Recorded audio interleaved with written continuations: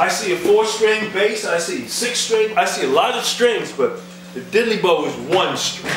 Those of you who don't know the instrument or know me playing this, this is, um, this is uh, very special. In fact, uh, Sprocket supplied me with this string.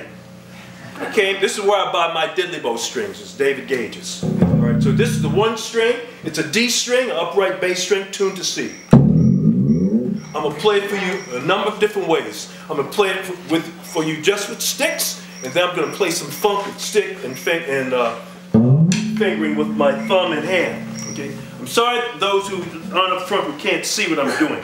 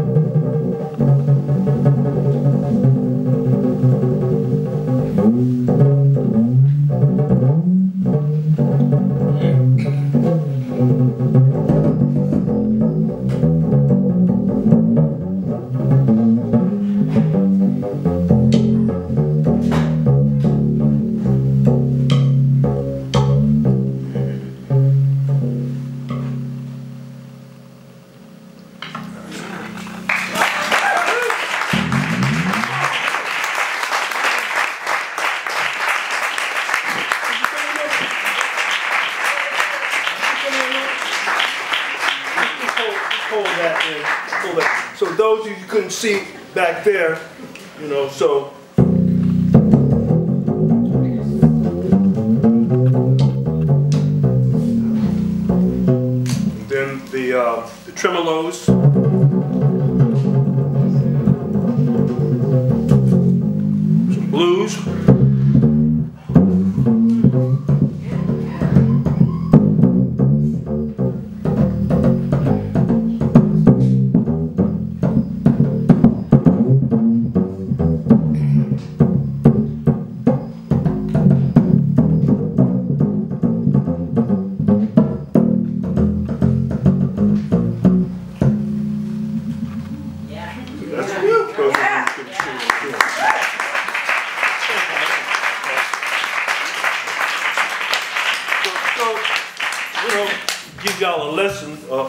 diddley bow, the diddley bow is something that slaves played, you know.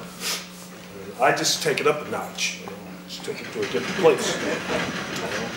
you know. And um, it's, it's actually a zither, since we're in a, that kind of a place, because it's one string, a monochord with a bridge and a bridge. It's a zither. It's, it's, it's like, and I'm playing it tangents, touching. So it's like the beginning of the piano. It's the first piano. That's how I think of it. It's the, before there were pianos, there was, before there were the many, there was the one. In the beginning, there was the one, right? From all the one comes all of music. That's how I think. When I play, I think of this thing. This is, this is the thing that, that, that in the physical that demonstrates to me that, that all of music is in the one string. You know? Yes. What, Hello, yeah. hi, what got you attracted to that? I didn't hear you. What got you attracted to it? When did you start doing journalists? Uh, come here, come here. so, Marc, uh, my dear friend Marc Edwards, along with David S. Ware and some other people, came to New York City back in 1973. The band called Apogee, and we came to, to tear up the place, right? Right. And that's, that's, what, that's what we were. We were the we were the real new cats on the block. You know, we were the the, the, the young lords, and we we were gonna give them all hell. Okay, and uh, what happened was that you know I'm a piano player, and David S. is a tenor player, so he went with he went with Cecil Taylor. And, and David went for Cecil Taylor, so I didn't have a band anymore. this is all published. I didn't have a band anymore. So, so uh, Jimmy Hopps, drummer, Right. Jimmy Hopps, great drummer, was living with us right, right up the street on Canal Street, Canal Street, down by uh, uh, Hudson Street, and uh, and he said, "This is an opportunity for you." I was very depressed. No, I was depressed. I didn't have a band. We came to New York. I didn't have a band, and they're with the master. He, they're with the master, and I'm, uh, I'm just with me. And Jimmy Hopps came. He sat with me down on Canal Street, 501, right down the street. Every day he sat with me, and he, we would draw pictures and paint with, with, with watercolors and magic markers. And I didn't know that he was giving me therapy. I didn't know that. I was impressed. No, that's the truth. I'm telling you the truth. Okay? He was a man, he was a he was a, a shaman. I mean, he's still alive, he's living out in Colorado. He's a brilliant man, brilliant drummer, a shaman. He was fixing me. Okay? So then one day I was walking down Canal Street and I got to Canal and Greene and there was a bundle of wood there and I picked up that bundle of wood and I took it back to my fifth floor studio and I was kneeling down at that bundle of wood. And Jimmy Hopps, who lived in a little closet on the fifth floor, was walking by me with that, kneeling by the bundle of wood. He said, that's your future. And he went on in his room. you, you asked me, this is how this stuff works.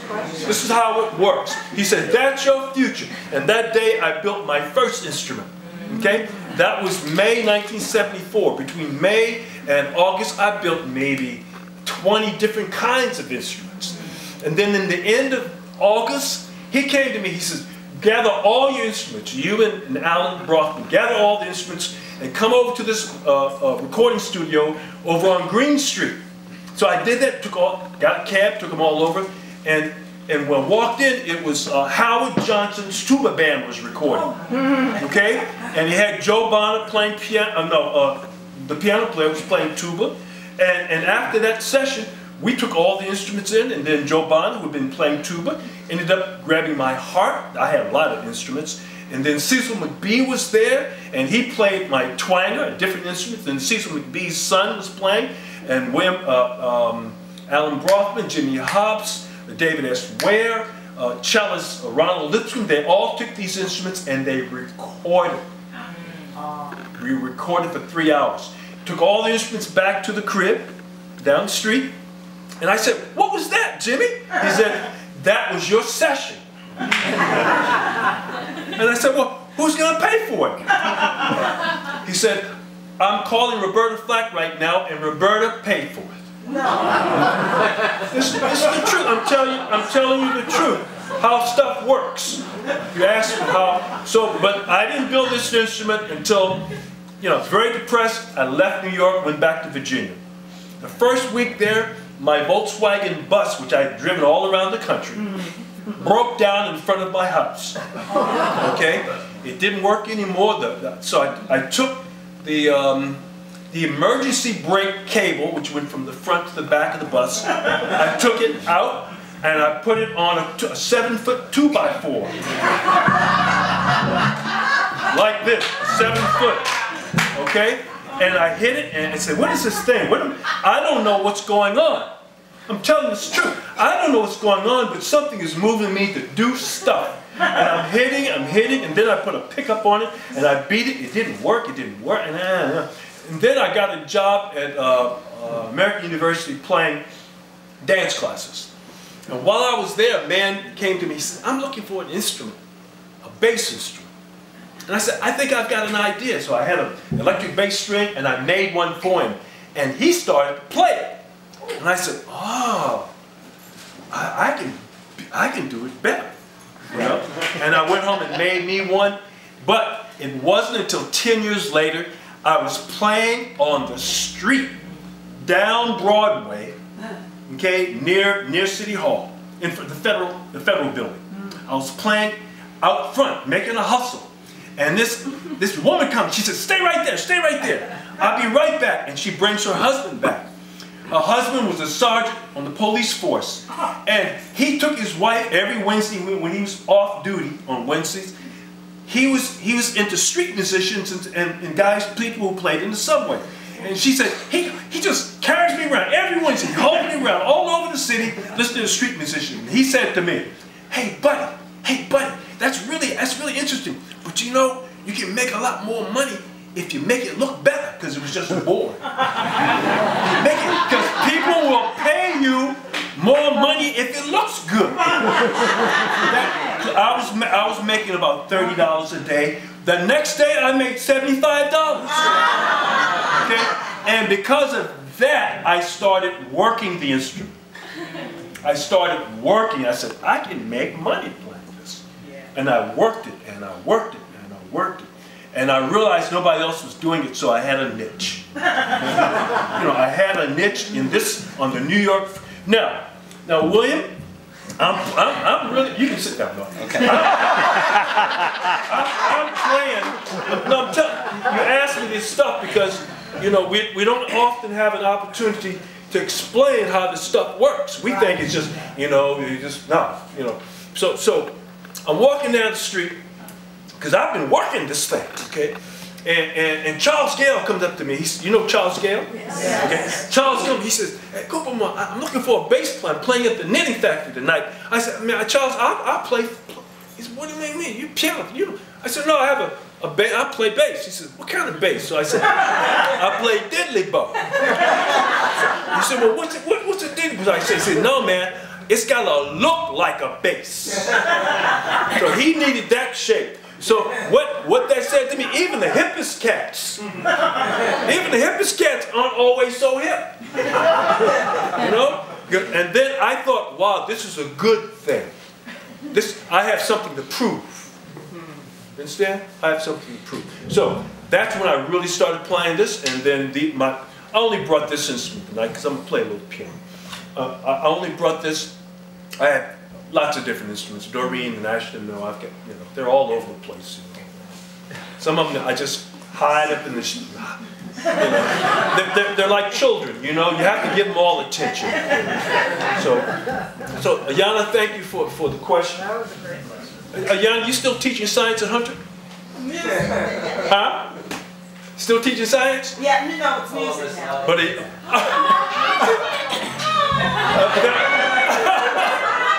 Uh, Ayana was my son's science teacher in elementary school. His homework.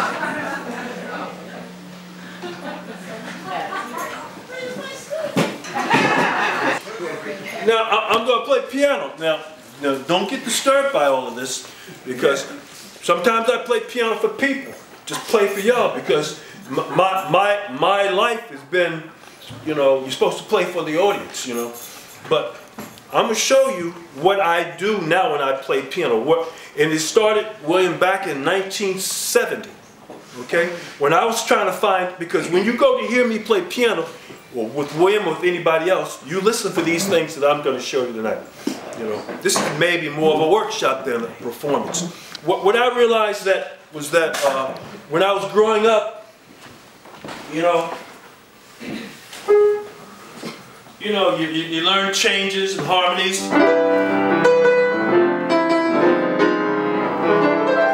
You know, you learn the, the triadic harmonies, and then I heard um, McCoy Tyner with Trane back in what back way back. You know, and I said, wow, can I ever play that? And when I understood what he was playing, which was like quartals and fifths, you know.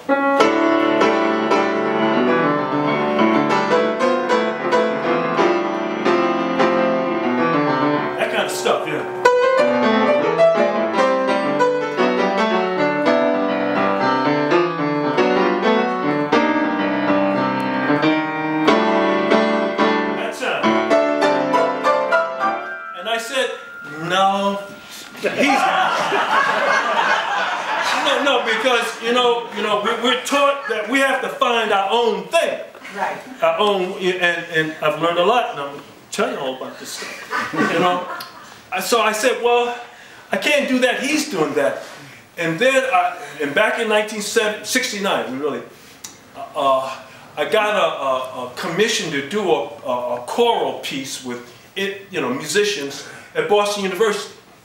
So I said, I got to come up with something different. So I said, what about seconds? You know, you know. So so I said, well, here's seconds here, and you know, you make a second into a a, a ninth, or you make it into a seventh. You know.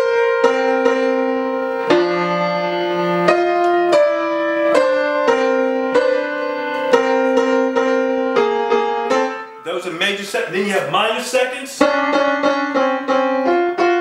which can turn into major sevenths or or ninths.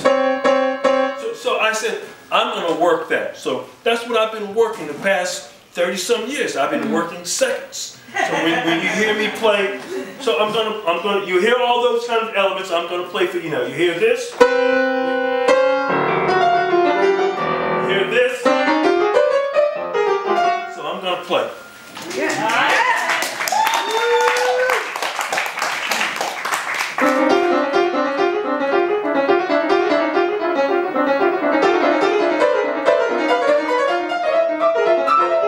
Oh, I didn't. I, I left out one thing.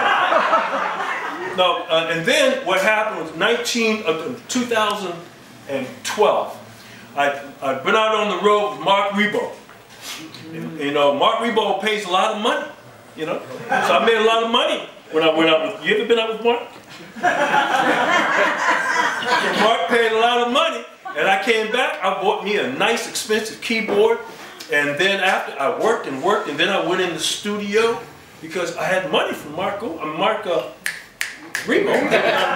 So I went in the studio and, and I recorded, and using the seconds, okay, and and and my dear friend uh, Adam Lord was there recording me, and we have it's all documented. Then I realized that I'd heard these sounds before when I was a little boy. And there, there was a man named, what's his name? Oh, Gene who? quickly. Gene Quickly. Gene Quickly grew up with my parents in Virginia, and he played piano. And one day, but when he was uh, in the eighth, uh, I guess he was like 13 years old, he had to leave town because there was no high school for black people then. So he had to go to the city and go and go to high school. He, but when he became an adult, he came back, and my parents, when he walked through the door, they were just smiling and happy. And my father said, "Come play, come play for my son." And this man walked into, uh, you know, my the room where I had piano, and he played. And this is how he played.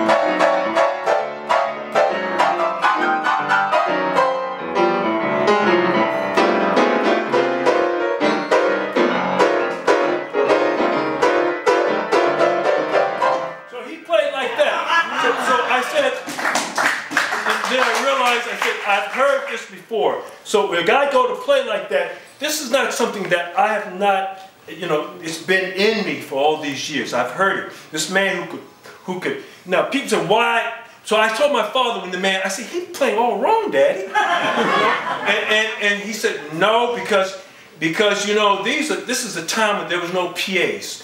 And they were playing like barns and joints. And if he didn't play like that, he, no one would ever. If he played like this, no one would hear him. And people wouldn't want to hear. They had to hear some stuff, you know.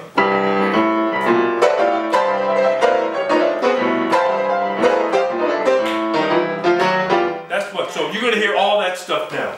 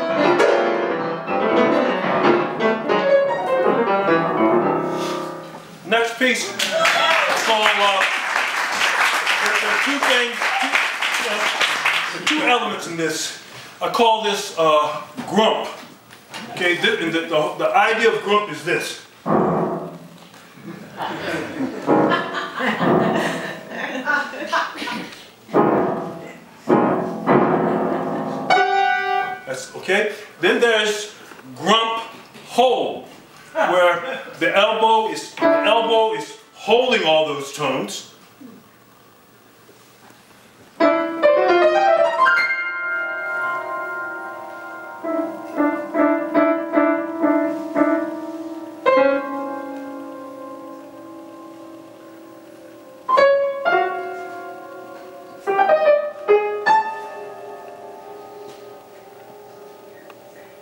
That's grump hole. So I'm going to do grump and grump hole.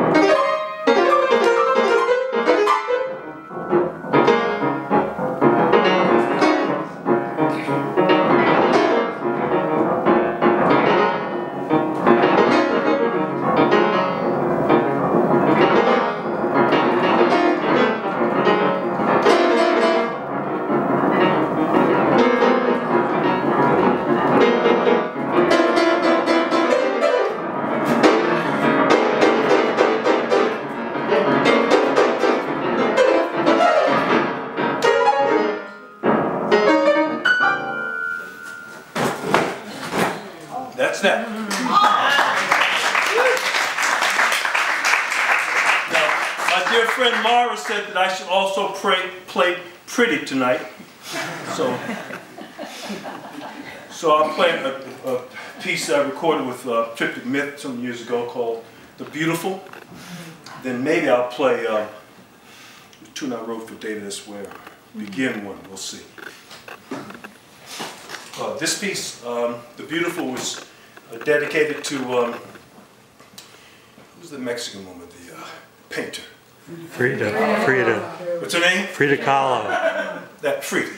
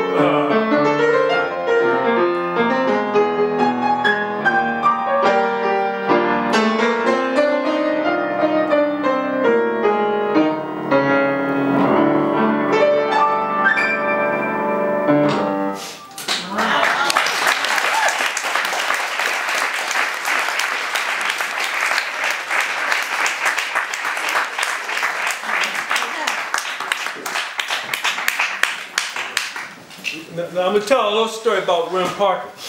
We, we, Rim Parker, cause he knows he, he has a better memory than I do. I first met Wim in, in, in the summer of 1973 at a rehearsal over in the firehouse on East 10th Street. Tell that story. All right, well, I've been playing with a saxophone player named Mudon Slaughter He owed me money. from Chicago. and uh, Mudon had this, uh, he would play the saxophone, but he had this backward bend. And so he would bend way back, almost to like he was going to, like a reverse junkie kind of thing. and then he then he'd go back forward, but he, he'd do this rocking thing. And he had all these, he had this music, and he was so he, so he was so happy. He said, well, at that time he said, you know, uh, Gene Ashton's coming from. He's going to rehearse with us. He's going to rehearse with us. I used to be known as someone else. Right. but in any case, so It helps, you know, when you owe IRS and all those people, you know, change your name, you know? now I don't remember who who was the drummer. Now who was that? I don't know. I don't know. It could have been Phil King. Ah. Phil King was a, a one, one of the a mystery zone drummers from the Lower East Side. What's the mystery zone? Define, definition, please. A definition of a, mystery zone is a guy who you who doesn't you don't really know how he learned what he learned. It's like a it's like in the in the uh, shamanistic world they call it a Nelly. Huh? A Nelly is somebody who's just born and then they can play and do what they do. Uh, Sun Ra was a Nelly Yeah. and um, also uh, Henry Grimes is a Nelly. Whoa. But anyway, Phil King was a Nelly. So, uh, so we're at a guy's house. He lived in a firehouse. His name was Juice. Uh, uh, Alan Glover. You might have heard play on Resurface.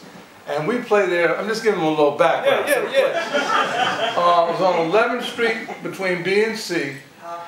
And um, I would, was that was the time I was walking from the, it's not about me, but I just give you this as a background. I was walking from the Bronx down to Manhattan. And my first stop when I got down to Manhattan was the firehouse with Juice. So it was around like one, or- one o'clock, we'd already done something. So he said, oh, Gene Ashton's coming, Gene Ashton's coming. It was in the day, right? It was in the daytime.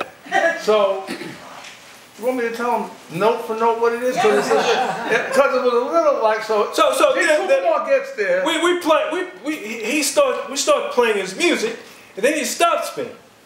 He says, I want you to do this. Play, I want you to play like so-and-so. And I said, because this, I was very arrogant back then, you know. He said, I said to him, he said, I want you to play like this and so-and-so. I said, don't tell me how to play.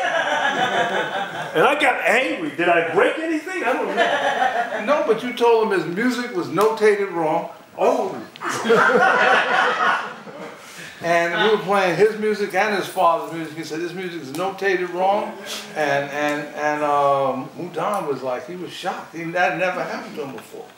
But, the, but I loved it. because the guys from 501 Canal Street, that's down the street where we live. Down the street where we live. they were like the heavy duty guys. Yeah. Yeah. I mean, because they were. David S. Ware. You know, David S. Ware, Cooper Moore, Marc Edwards, David Sapper, um, Alan Braufman. Evan uh, Christie. Who? Chris Amber. Chris Evan Evans. Christie. I don't know if he was heavy duty. Who? Who? Chris? Yeah. Whoa, whoa, whoa. I never ran. I didn't, Ba- bass player, not the bass player. I didn't run into anything heavy duty with Chris personally. Not, not that he wasn't heavy duty, but I'm just saying, you know. No, he was. He was. He, he was heavy duty. Yeah, okay. yeah. okay. The winners. Yeah. Was he playing with y'all? Yeah, man. Okay. All right. Uh, come from California. Came from All California. right, all right. Anyway, there was them. Then the other segment was William Hooker, who was walking around with a big afro and a long beard, and he, in an overcoat in the summertime. And he was walking around. He didn't live with us. No, he didn't live with you. We wouldn't let him in. But he, but he was one sanction, and then the other one was the guy was Ensemble Muntu with Jemeel Moondoc and Arthur Williams and Rashid Sinan. Oh, yeah. And so you had these three satellites But they were the, they were the heavy duty guys, Heavy duty. heavy duty because they went right to the Holy Ghost. See, they didn't still, like, you know, like with Demir, who was still writing, they were still writing tunes. ah, da, dee, yeah. But David and Marc and Coopermore, and when they had Dave Sapper, they went right to the Holy Ghost. Oh. Well, you, you, you understand that, that, come, come here, because you gotta be in the light too. Marc Edwards was the, was the motor. Wow. See, every, everybody understood their role in the band, and, and there was no giving up. Wow. You understand? Was no, there was no giving up. I, here's a story. In Boston, we're playing at the Black Avant-Garde, which was like a, a coffee house under a church. Don't tell that. No, I'm gonna tell this a beautiful story. It's a beautiful story. It's a beautiful because it, it goes to the point. We're playing, the three of us, we're playing, we're playing, we're pushing and pushing and pushing. David, we're not, all of a sudden it's just David and me, just David and me. And then we finish and we look around and he's unconscious. he's on the floor. That's how hard he played. Wow. That's, it. That's how hard he played. And we had a, a rehearsal space and we would rehearse three or four hours in the morning, and then he and David would go to work, and then we'd come back in the evening, and we'd play and play and play till after midnight. We did this every day. Every every day we did that, you know. And and be, and then when we came to New York, we, we thought everybody was doing that. That's the truth. We thought everybody was doing that, but everybody wasn't doing that. And we found out that there were a, a lot of half stepping. You know? Yeah, I, there, there- there, there, I mean, it was a transitional period from the 70, 1972, go, moving to the 1980s. And, and, and what happened was the, well, Chicago, Los Angeles, and St. Louis musicians came in. Mm-hmm. And they, and they were not, they were playing some other kind of music. Uh-huh. Uh-huh. They were playing Go ahead. Okay, well, I tell you, all right, we telling the truth here today. Tell the truth. Tell the truth. Okay, Why'd they get written by? Drugs. well, there was that, but there was also, you know, they were a little bit, they were intellectual. See, when we came around, Lester Bowie would say, here comes a wild bunch. They don't know when to stop. They play for three hours without stopping. You can, you can, you guys can't make any money playing three hours without stopping. And then they told some other saxophone players that they need to play some standard tunes. But they didn't mess with Frank Wright. But they messed with the other Frank. You know, and they told him, and said, you gotta play some standard tunes. And then his thing, his, he, he, because his, his, his, he had, his mind was a little, he had a weaker mind. Right. You know, but Frank Wright said, don't, you know, Frank Wright would go off on somebody, and he continued to be the rev. But other people brought their sounds in, and they brought their thing, they tried to be European, you know, it's, it's, cause these guys coming with this European stuff and composition and, you know, all this stuff. I But you you compose. I compose. yeah, everybody can compose. Cecil composed, Sun Ra composed. They're not the only composers in the world. Anybody can compose some music. You know, we all compose music, but I'm saying, but you can compose music, but you also know about the Holy Ghost. Uh, meaning that you compose the music, but you don't reject the Holy Ghost. That's right. You don't do that. That's all. But anyway, these guys were heavy duty, and they, we highly respected y'all. We highly respected. We were up at WKCR once. Huh? We were up at WKCR. Y'all did a session and we did a session. Uh-huh. So y'all were, you know, I mean, I seen certain musicians come to 501 Canal Street and leave when David started playing. Mm-hmm. They mm-hmm. left mm-hmm. Why would they leave? because they couldn't deal with it. Uh-huh. They couldn't hack it. They couldn't hack it. And I'm not naming any names. If you want to know that, Jazz Babylon later. But, but it was heavy duty because it was really connected to the spirit, and those of us that heard it loved it. Yes. And it was very inspirational. Uh, and then you learn more and more and more about the people. You learn about uh, Well, I learned, you know, I played with David, you know, after that period and just learned more and more and more about him. But I also learned more and more about Coopermore when I found out about the Ashimba. The Ashimba. Ashimba, Ashimba, which was that bundle of wood Yes. that he found and put it together and made it into a marimba, but we called it Ashimba. The Ashimba had 11, has 11 bars. And, and, and, and I say to people now, when I started building the instruments, they started informing the piano because they were simple. They were, they were limited, one string, okay?